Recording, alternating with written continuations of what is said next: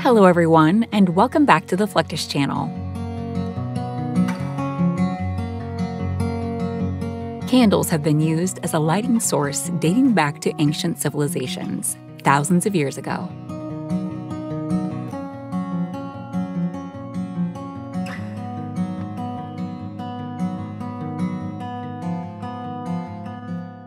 Nowadays, the purpose of candles is focused more on decoration or a source of fragrance, which has boosted the carved candle industry and the handicraft behind it.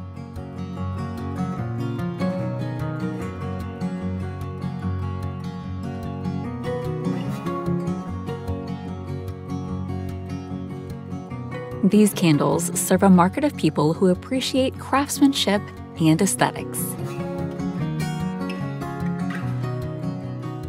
This is why big and small businesses have appeared around the globe to supply this niche market.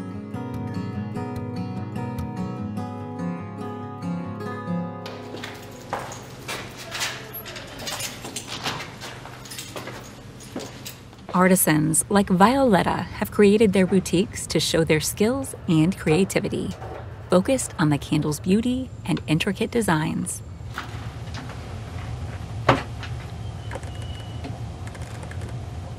In the workshop, the artist prepares the colored wax, which is kept melted at a temperature between 150 and 160 degrees Fahrenheit.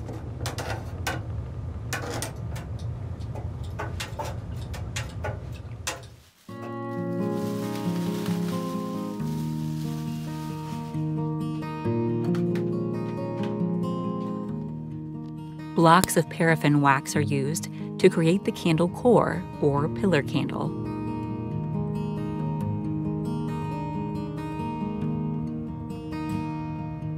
In most cases, stearic acid, also known as stearin, is mixed with pure paraffin to improve burn quality.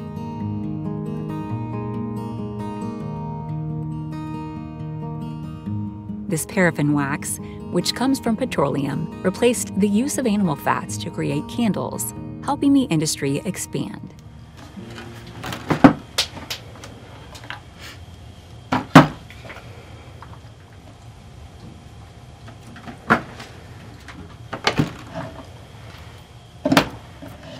Being a cheap resource allows small businesses to create these works of art without weighing them down so much financially.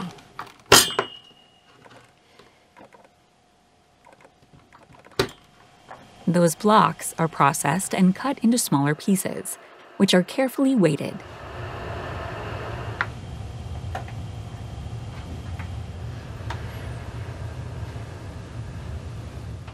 While pure paraffin creates the pillar, some wax is mixed with dyes and poured into the already melted colored wax.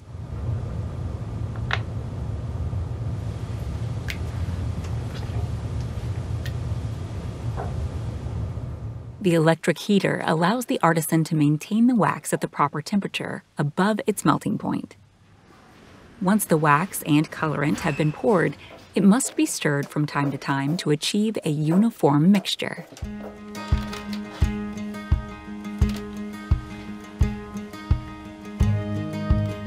Silicone or plastic is used for the pillar candle mold, as it can be shaped easily and the candle is released with no effort.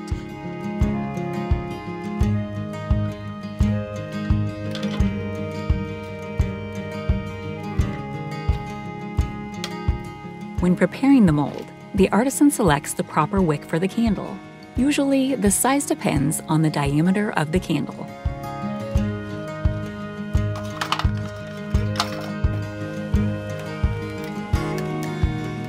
Most wicks have threads that are woven in a specific pattern that affects the burn behavior. As the melted paraffin is poured, the rubbers keep the mold together, maintaining its shape while it cools.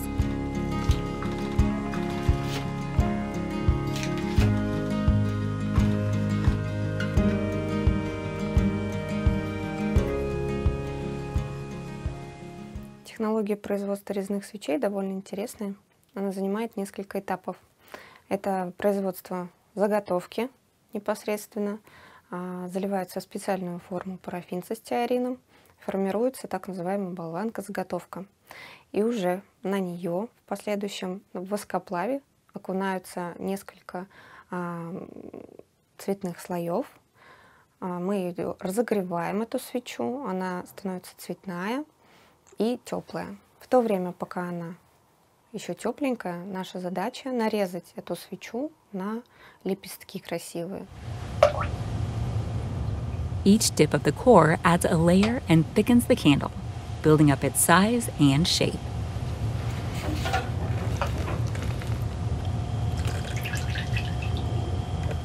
The artisan hardens the layers in cool water, but only briefly, as the wax should remain malleable.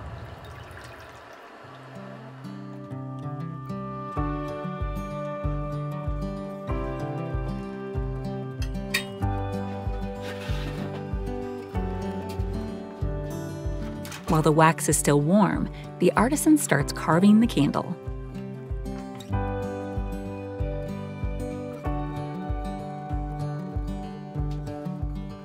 That process must be done with precision and swiftness, as the paraffin wax takes about 20 minutes to harden, which would only damage the candle at that point.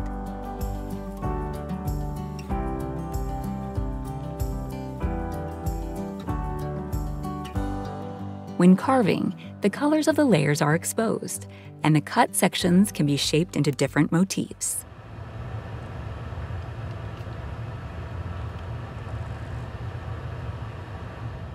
Downward curls are formed by cutting small strips and bending them downwards. They are one of the most popular shapes. Several tools can be used to create such forms, including blunt tip carving knives or strip carving tools.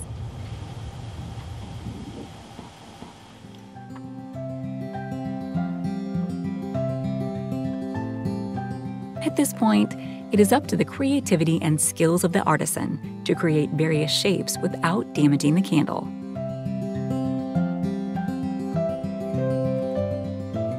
Decorative elements like metal beads or wire are added for a more intricate and ornate look.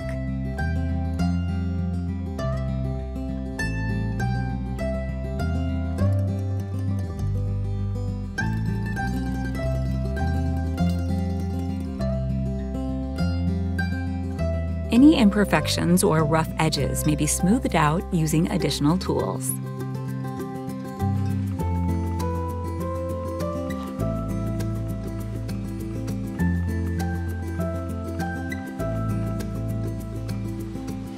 After the design is finished, the artisan covers the candle with varnish to protect it and give it a glossy look.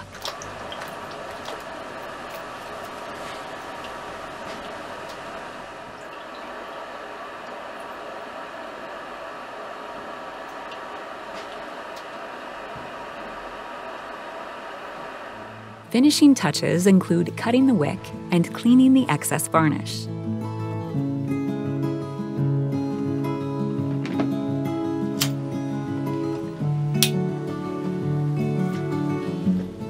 This showcases the creativity and uniqueness each artisan puts into those pieces.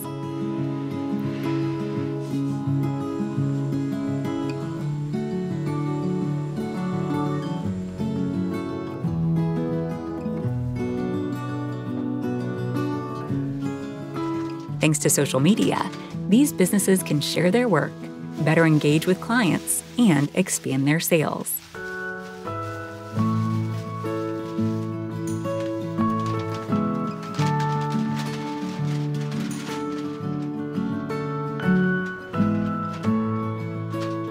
With such technology, customers can order quickly, making the delivery process more efficient.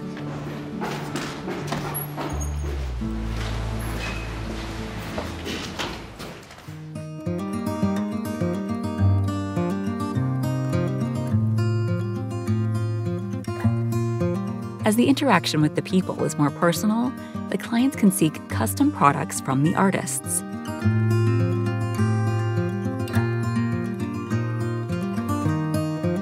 This artistic business has greatly increased thanks to the artists' passion and engagement with their clients.